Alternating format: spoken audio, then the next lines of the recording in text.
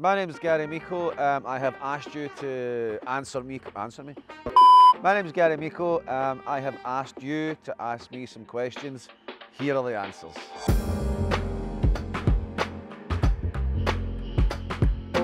If I wasn't good at comedy, my dream job would have been um, definitely like I used to be a debt collector, and the transition from that to comedy, I had to uh, get a part-time job and uh, helping kids with learning difficulties.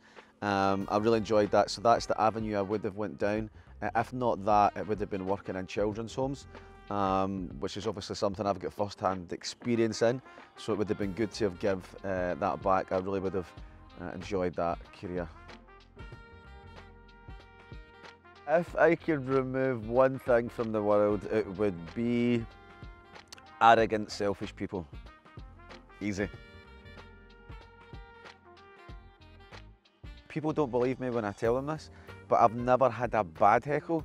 Um, and I've had a few conversations with people about it, and they tell me that it's because that apparently I come off quite, not aggressive, but I, have got a vibe on stage like, don't mess with him.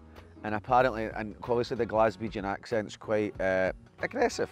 I think people are kind of maybe um, think twice about heckling me on stage. So I've genuinely never had a bad heckle. The most ridiculous thing anyone has ever tricked me into uh, is without a shadow of a doubt, I'm quite gullible. And uh, my, an old friend uh, used to wind me up all the time. One of the things he told me was, he said, Gary, do you know what Sony stands for? So like the, the manufacturing uh, company that do TVs and stuff. And I was like, no. And he meant it stands for somewhere outside New York. And I was like, really? And he's like, no, you dick. Um, it's a Japanese company. Why would they name it that? So I, am extremely gullible.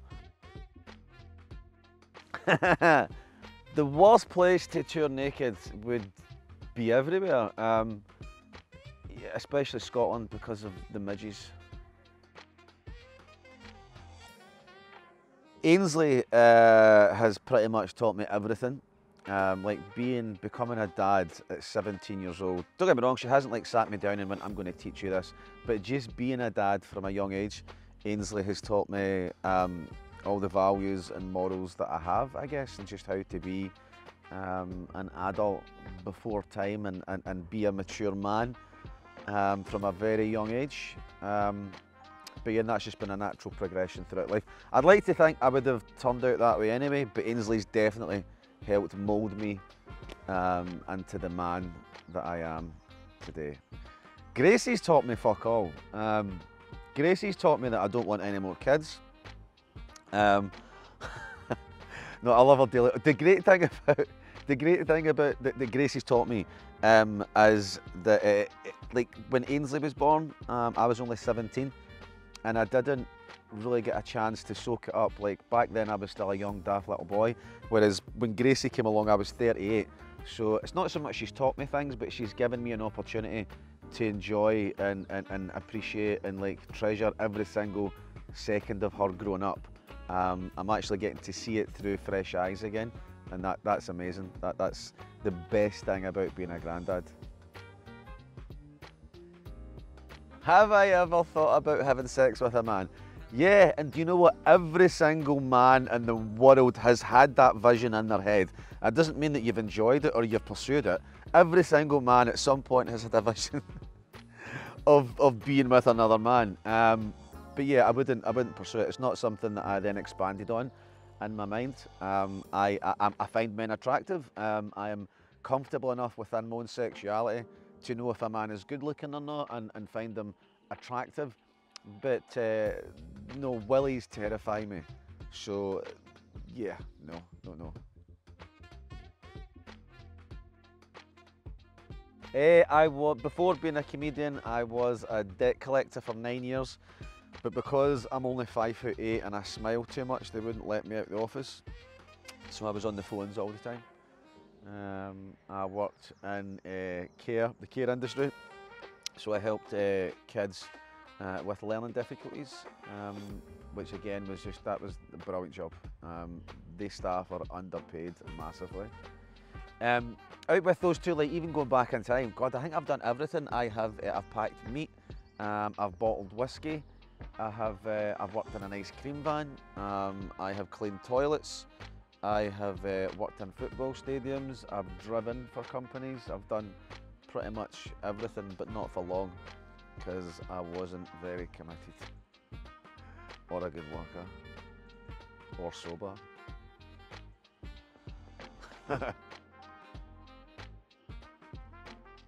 if I could go back to my younger self, and um, I guess that comes into the, the category of what advice would I give myself? Um, I would tell myself that everything is going to be fine, but I would tell myself to pull my finger out of my bahookie quicker um, and not waste so much time. Um, I spent too much time in my 20s uh, and early 30s just partying and, um, and not having and chasing my goals. So I would definitely tell myself. I mean, I, I, it's different for me now because I'm here, so I wouldn't change anything about my life. Um, but yeah, my advice to anyone else would be just pursue your goals um, younger. Right, definitely Tom Hardy. Uh, I don't think it's any secret that, that my man crush is Tom Hardy, so I'd want him to play me. I don't know, I'd want to play my younger self. Um, I don't know any young actors. Um, oh, what's the guy that's in Transformers? He's young-ish.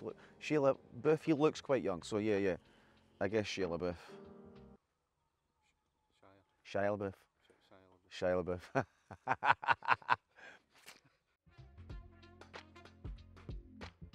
Send. Send me them. I don't get enough of them. I don't get any. It's no fair. Just send me loads. Um, both of them.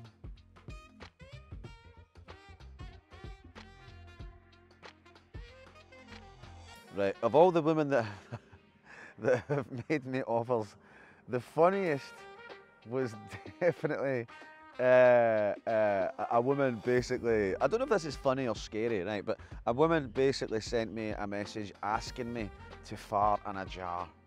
Um, and I just replied back, okay, I've done it, now what? And she never got back to me. So if you're watching, it's still at home, jarred up.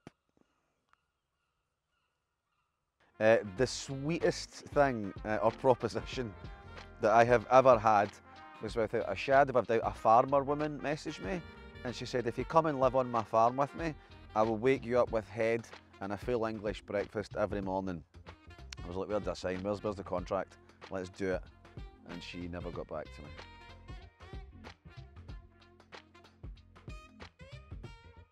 Ah, my favourite thing to do in downtime uh, apart from obviously play with Gracie and, and see I'm obsessed with comedy. I don't get much downtime. Um, and when I do I'm just thinking about comedy or writing comedy. But um, I do love cheesy films. Like see like your Z-list actors that are in like is it Sharknado or Sharknado? Where you've got like flying sharks with three heads and stuff. Just really bad acting. I don't know what it is about it. I just love it. I think it's because I can just switch off and I, I just enjoy it. I like watching really, really bad. I don't even think it's bad acting, I think it's bad editing. I think that's what it is, like bad, bad editing. I like it. Don't know why.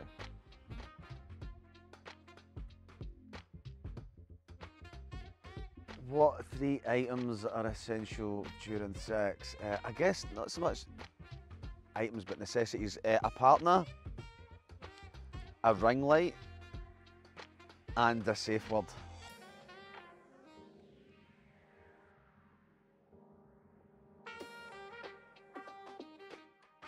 Yeah, the, the, the scar through my eyebrow um, was uh, basically what happened when I was five years old. Um, I was sleeping and I fell out of my bed and I hit my head off the bedside cabinet. I was still sleeping, but my mum um, heard the noise, so she came running in and uh, she uh, just basically put me back to bed because that's what parents done in the, the, the 80s. Uh, they didn't really give a shit about the kids. Like my mum was actually having a party. I said, Mum, why didn't you take me to the hospital? And she's like, because we were having a party. Like, I'm sorry I interrupted your night, Mum, with my, my, my head split wide open. And she I said, what if I die? She's like, no, you were fine, Gary, you were snoring. Like, brilliant, Mum, thanks. So yeah, that's, I got the scar from falling out my bed uh, where my mum was having a party and um, she just put me back to bed. That's God's honest truth. that's all my questions answered. Uh, thanks for asking them.